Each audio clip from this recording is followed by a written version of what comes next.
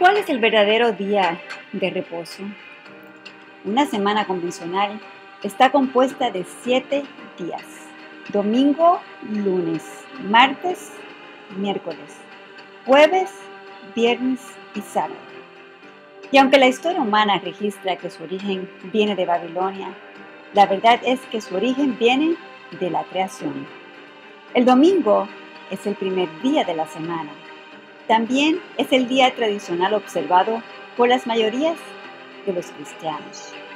Pero veamos cuál fue el día seleccionado como día de reposo por el mismo Dios desde la creación de este planeta. Génesis 2.2 dice, Y acabó Dios en el día séptimo la obra que hizo, y reposó el día séptimo de toda la obra que hizo. Y bendijo Dios al día séptimo y lo santificó, porque en él reposó de toda la obra que había hecho en la creación. Y en Lucas 4:16 dice, Jesús fue a Nazaret, el pueblo donde se había criado. El sábado entró en la sinagoga, como era su costumbre, y se puso de pie para leer las escrituras. Y también nos dice en Juan 14:15, Si me amáis, guardad mis mandamientos.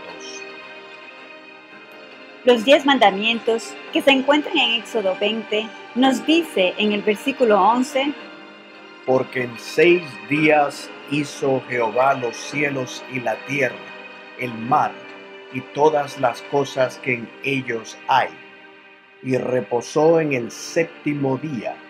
Por tanto, Jehová bendijo el día de reposo y lo santificó. No importa si lo buscas en el Antiguo o en el Nuevo Testamento, la Biblia enseña que solo hay un día de reposo, el séptimo día, el Shabbat. El sábado.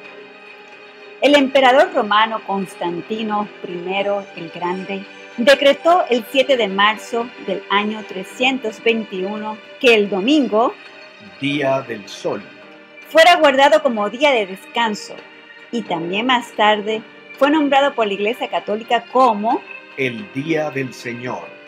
y finalmente en el año 1566 el Concilio de Trento transfirió el descanso al primer día de la semana, o sea, al domingo, para celebrar el Día del Señor.